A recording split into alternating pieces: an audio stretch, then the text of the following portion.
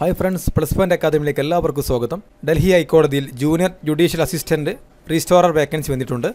നൂറ്റി മുപ്പത്തിരണ്ടോളം വേക്കൻസി ഉണ്ട്. രണ്ട് ഘട്ടത്തിലായുള്ള പരീക്ഷയുടെയും സ്കിൽ ടെസ്റ്റിന്റെ അടിസ്ഥാനത്തിലാണ് അതുപോലെ തന്നെ അഭിമുഖത്തിന്റെ അടിസ്ഥാനത്തിലാണ് തിരഞ്ഞെടുപ്പ് നടക്കുന്നത്. നമുക്കതിന്റെ ഡീറ്റെയിൽസ് ഒന്ന് നോക്കാം. യോഗ്യത പറഞ്ഞിരിക്കുന്നത് ബിരുദം അതുപോലെ തന്നെ കമ്പ്യൂട്ടറിൽ മിനിറ്റിൽ മുപ്പത്തിയഞ്ച് വാക്കിൽ കുറയാത്ത ടൈപ്പിംഗ് വേഗം ഉണ്ടായിരിക്കണം.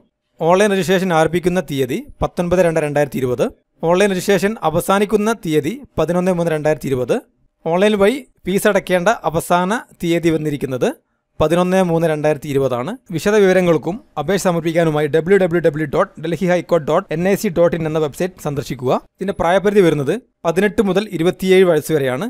അർഹരായവർക്ക് നിയമാനുസൃത വയസ്സിൽ ലഭിക്കുന്നതാണ്.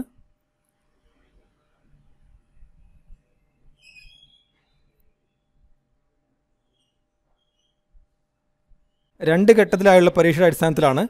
അതുപോലെ സ്കിൽ ടെസ്റ്റിന്റെയും അഭിമുഖത്തിന്റെ അടിസ്ഥാനത്തിലാണ് തിരഞ്ഞെടുപ്പ് നടക്കുന്നത്. അതിന്റെ സിലബസ് ഇവിടെ കൊടുത്തിട്ടുണ്ട്. സ്റ്റേജ് വൺ ക്വാളിഫയിങ് സ്റ്റേജ് ആണ്.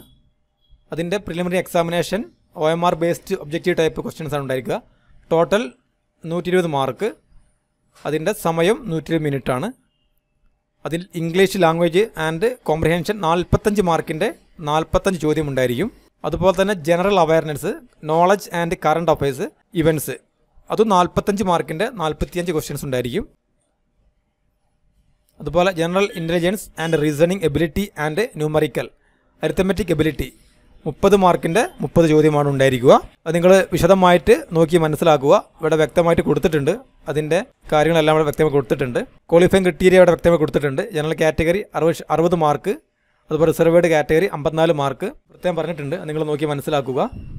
അടുത്ത സ്റ്റേജ് ടു ആണ്. മെയിൻ ഡിസ്ക്രിപ്റ്റീവ് എക്സാമിനേഷൻ അതിന്റെ സിലബസ് വ്യക്തമായിട്ട് കൊടുത്തിട്ടുണ്ട്. നിങ്ങൾ നോക്കി മനസ്സിലാക്കണം. നൂറ് മാർക്കിന്റെ ചോദ്യം ഉണ്ടായിരിക്കുന്നതാണ്. അതിന്റെ സമയം വരു- വരുന്നത് നൂറ്റി ഇരുപത് മിനിറ്റ് ആണ് അതിന്റെ വ്യക്തമായ സിലബസ് ഇവിടെ വ്യക്തമായിട്ട് തന്നെ കൊടുത്തിട്ടുണ്ട്. നിങ്ങൾക്ക് കാണാൻ പറ്റുന്നതാണ്. അടുത്ത സ്റ്റേജ് ത്രീ ആണ്. ക്വാളിഫയിങ് സ്റ്റേജ് ആണ്. പത്ത് മിനിറ്റ് നീണ്ട സ്കിൽ ടെസ്റ്റും അഭിമുഖവും ഉണ്ടായിരിക്കുന്നതാണ്. പ്രത്യേകം ഇവിടെ പറഞ്ഞിട്ടുണ്ട്. സ്റ്റേജ് നാല് ഇവിടെ കാണിച്ചിട്ടുണ്ട്. ഇന്റർവ്യൂ ആണ്. ടോട്ടൽ മാർക്ക് ഇരുപത്തഞ്ച് മാർക്കിന്റെ ഇന്റർവ്യൂ ഉണ്ട്.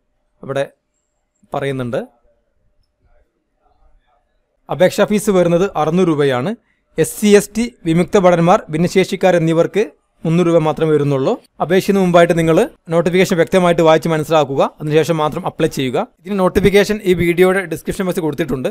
നിങ്ങൾക്ക് കാണാൻ പറ്റുന്നതാണ്. നിങ്ങൾക്ക് ഈ വീഡിയോ ഉപകാരപ്രദമാകുന്നുണ്ടെങ്കിൽ ഷെയർ ചെയ്യുക. സബ്സ്ക്രൈബ് ചെയ്യുക. അടുത്തൊരു എപ്പിസോഡുമായി വീണ്ടും കാണാം. താങ്ക്